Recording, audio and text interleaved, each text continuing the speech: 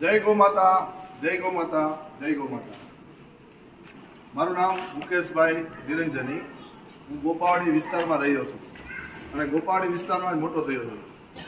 ગોપાવાડી વિસ્તારમાંથી જ આ ગૌશાળા ચાલુ થઈ છે.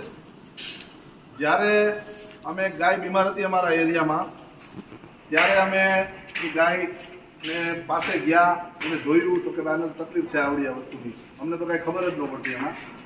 એટલે એક ડૉક્ટરને બોલાવ્યા, એ ડૉક્ટરે સીધી ચિઠ્ઠી લખી દીધી, ત્રણ ચાર દવાની. પણ અમે ત્યારે આજથી પચીસ વર્ષ પહેલાં અમે થોડાક નાના હતા અને અમારે પાસે એટલા પૈસા પણ ન હોય. એટલે અમે દોસ્તારો કીધું આપણા મથુર બાપા હે બાજુમાં, ત્યાં દવા આપે છે. તો અમે ગયા ત્યાં, અને ત્યાંથી દવા લઈ હતા તો ગાયનો જીવ વયો ગયો.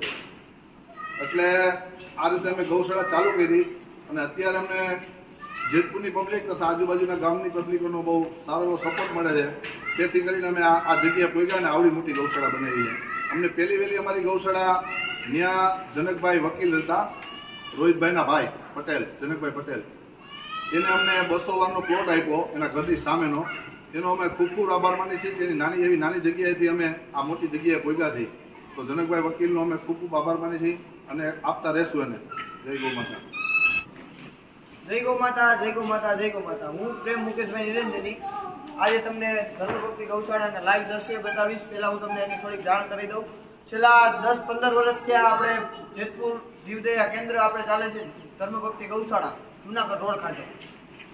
ત્યાં પશુ, કોઈ પણ પશુ, કોઈ પણ જનાવર, પંખી હોય, નાગ હોય, ગમે તે જનાવર હોય, તેને ઇન્જેક્ટ થઈ ગયું હોય, લાગેલું હોય, ઘાયલ થઈ ગયું હોય એક્સિડન્ટ તથા ગમે એ પ્રકારનું એને લાગી બાગી ગયું હોય તો આપણે એમ્બ્યુલન્સ હેલ્પલાઇન નંબર રાખેલા છે. ચોરાણું બે ત્રાણું પિચોતેર પાંચ બેતાલીસ. એમ્બ્યુલન્સ આવી ત્યાંથી સ્થળેથી ગાડી ગાય અથવા જે પણ જનાવર હોય કે ઢોર હોય એને ત્યાંથી લઈ જવામાં આવે છે અને અહીંયા એની પૂરતી સારવાર કરવામાં આવે છે. તમે જોઈ શકો છો જેતપુર ધર્મભક્તિ ગૌશાળાના લાઈવ દ્રશ્યો આવી રીતે ગાયો અહીંયા લઈ આવવામાં આવે છે અને આ રીતેની પૂરતી સારવાર કરવામાં આવે છે. આ હાલતમાં ગાય અહીંયા હોય છે. તમે જોઈ શકો છો તાળી બાજુ નિહાળી શકો છો. હવે હું મારા કાકાને બે શબ્દ બોલવાનું કહીશ. ભરત કાકા. ગૌશાળા જીવ જીવદયા કેન્દ્ર જેમાં દરેક અબોલ પશુની સારવાર વિના મૂલ્યે કરવામાં આવે છે. અને જ્યાં પણ સ્થળે એને ઈજા થઈ ગયેલી હોય ત્યાંથી સારવાર કરી અને અહીંયા લઈ આવવામાં આવે છે આજીવન એને નિભાવવામાં આવે છે.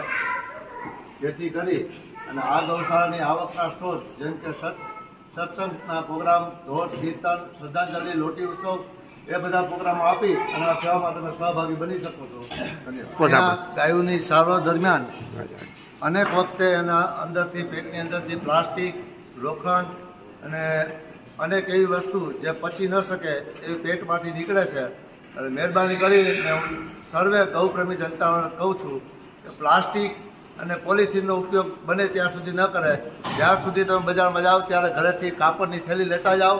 જેથી કરીને ગૌ માતાના પેટમાં એ પ્લાસ્ટિક ન જાય અને ખાસ કરીને અત્યારે ઉત્તરાયણના પર્વ ઉપર બાળકોને ખાસ કરી વિનંતી કે જ્યાં ત્યાં રસ્તા ઉપર પ્લાસ્ટિકના દોરા પડ્યા હોય તે લઈ લ્યો. જેથી કરીને પશુ પંખીના કોઈના પગમાં ન આવે, પક્ષીઓની ચાંચમાં ન આવે, પગમાં ન આવે. અને ખાસ કરીને કૂતરા કાબોલ કોઈ પણ પશુના જીવને હેરાન ન કરે અને પીડાવું ન પડે, એના માટે ખાસ તકેદારી મા બાપ સહિત બાળકો પણ રાખે એવી નમ્ર વિનંતી.